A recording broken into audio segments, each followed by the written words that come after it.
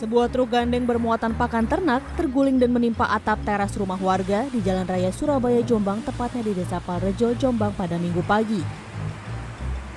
Sebelum terguling, ban kiri truk gandeng masuk selokan. Karena tidak kuat menahan beban muatan, truk akhirnya terguling.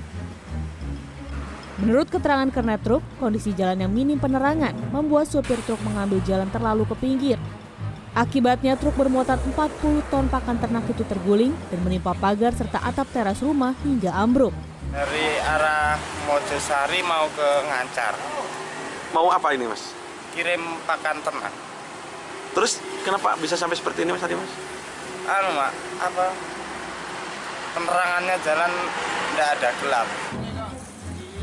Tidak ada korban jiwa dalam insiden ini lantaran rumah dalam keadaan kosong Kasus kecelakaan ini ditangani unit laka lantas Polres Jombang.